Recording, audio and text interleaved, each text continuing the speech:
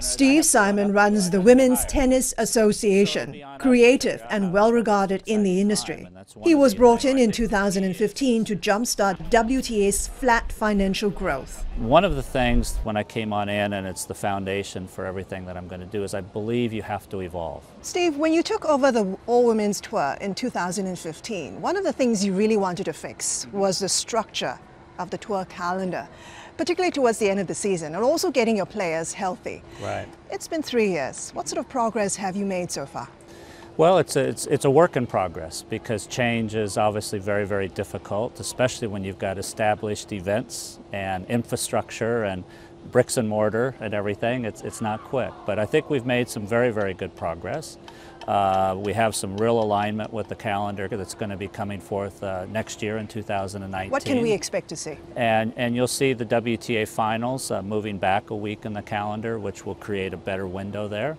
And I think that there's going to also be some, some further shuffling, especially in this year in part of the calendar, where we can create a little longer break after the U.S. Open to allow the players to rest before they finish the year-end swing, and then come to Asia and finish the year in Asia in a very progressive manner that will, will keep them healthy and allow them to play healthy over here with the proper rest and everything else they need. Whether it's uh, changing the tour calendar or trying to reduce the time it takes to play a match, it's always controversial and challenging to try to make these changes, something that players and sponsors are used to. What sort of leadership are you providing behind the scenes to get people to embrace these changes? If your track record has shown that the recommendations you make have moved the needle forward and you have more wins than losses, they have a tendency to accept your, your ideas a little bit more. But it is always about the selling process and the vision and being able to go in and say, look, here's where we are today. I think this is where we need to get to, which we can all agree to, and here are the steps we need to do to, to get there. And there's going to be these changes. Here's the good parts, here's going to be the investment parts or the bad parts you're going to have to go to. But if we're going to continue to evolve and grow, we've got to be willing to do this. And it's being able to have those honest conversations with everybody. It's important to have relationships so that they, they trust you and they know you're not trying to have a certain angle or get away with something. And I think that um, throughout the organization we have, uh, we have a lot of trust, a lot of, a lot of confidence, and um, people are willing to engage in conversation and, and talk and get comfortable with things that maybe aren't in the comfort zone all the time. What do you do with people who don't buy into your idea? Well, if, if they don't buy into them, we obviously respect their position. Um, but we're not going to let that stop us from moving where we need to go to. Um, you need to get on the train and join us, or we'll. It was nice, nice visiting with you. I hope we can work with you down the road, but we're going to keep on, keep on going. How does it feel like to be the man heading the all women's tour? The man. uh, you know, when I came on in, it was, uh, I said it was a, a very humbling uh, thing to be asked to do it. Uh, wasn't something, I was very happy doing what I was doing. I wasn't looking for a new job.